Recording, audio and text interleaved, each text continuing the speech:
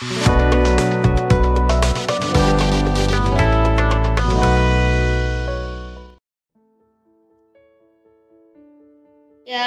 selamat pagi bagi kita semua. Bersyukur kita kembali berjumpa pada pagi hari ini melalui Renungan Harian Toraya edisi Sabtu 7 Oktober 2023. Kita mohon tuntunan Roh Kudus untuk membaca firman Tuhan. Kita berdoa. Terima kasih Tuhan, pada pagi hari ini kami boleh menikmati kehidupan di hari baru karuniamu. Saat ini kami mau membaca firman-Mu yang menjadi pedoman kehidupan kami dalam melaksanakan tugas tanggung jawab yang kami emban. Kiranya roh kudus-Mu memberkati kami semua, memahami firman-Mu untuk kami lakukan dalam kehidupan ini. Bersabdalah Tuhan, kami sudah sedia mendengarkan dalam keampunan Yesus Kristus, Tuhan kami. Amin. Firman Tuhan dari Injil Yohanes pasal 11 ayat 45 sampai 57 di bawah judul persepakatan untuk membunuh Yesus. Banyak di antara orang-orang Yahudi yang datang melawat Maria dan yang menyaksikan sendiri apa yang telah dibuat Yesus percaya kepadanya. Tetapi ada yang pergi kepada orang-orang Farisi dan menceritakan kepada mereka apa yang telah dibuat Yesus itu. Lalu imam-imam kepala dan orang-orang Farisi memanggil mahkamah agama untuk berkumpul dan mereka berkata, "Apakah yang harus kita buat? Sebab orang itu membuat banyak mujizat.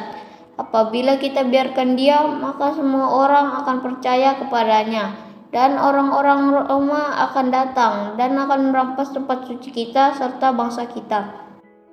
Tetapi seorang di antara mereka, yaitu Kayafas, imam besar pada tahun itu, berkata kepada mereka, "Kamu tidak tahu apa-apa, dan kamu tidak insaf bahwa lebih berguna bagimu jika satu orang mati untuk bangsa kita daripada seluruh bangsa kita ini binasa."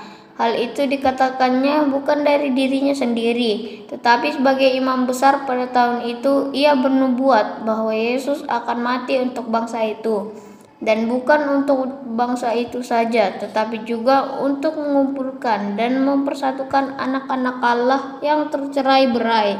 Mulai dari hari itu, mereka sepakat untuk membunuh Dia.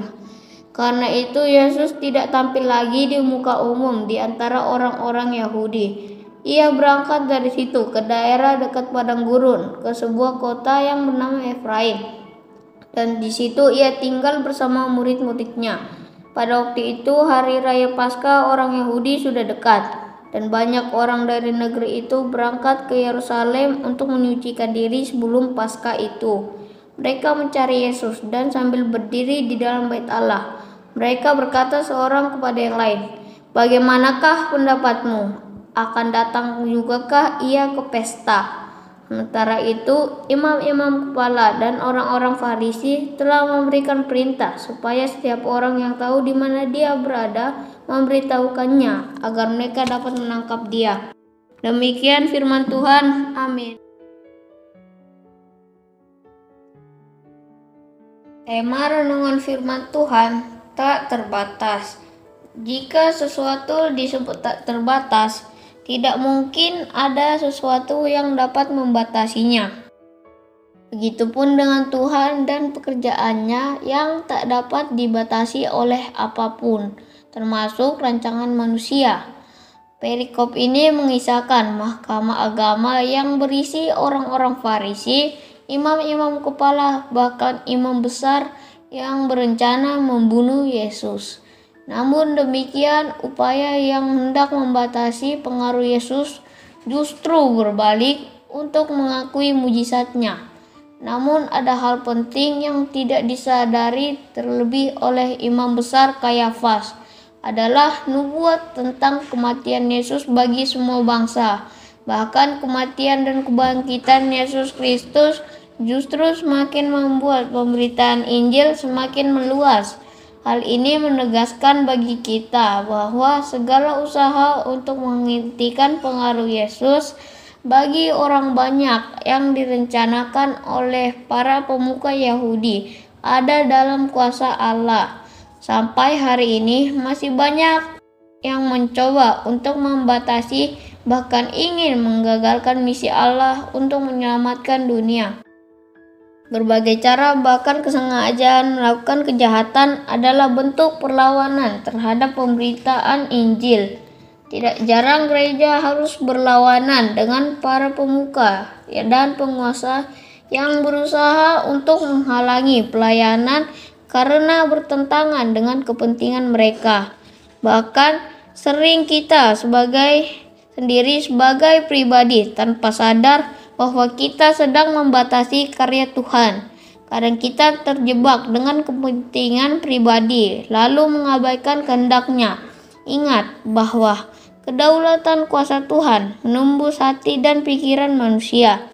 Tidak ada satupun yang dipikirkan dan direncanakan luput dari kekuasaan Allah. Karena itu, hiduplah dalam ketergantungan hanya kepada kuasa Tuhan Roh Kudus memberkati kita semua. Amin. Kita berdoa. Sungguh kami bersyukur kepadamu Tuhan untuk penyertaanmu dalam membaca dan merenungkan firmanmu. Kiranya kami mampu melakukan dalam kehidupan ini. Saat ini kami mau memulai kegiatan kami, berkati kami semua. Kiranya apa yang kami lakukan, kami kerjakan boleh terjadi sesuai kehendakmu. Inilah doa kami, ampuni segala dosa kami. Di dalam nama Yesus Kristus, Tuhan kami. Amin. Selamat beraktivitas, Tuhan Yesus berkati. Shalom.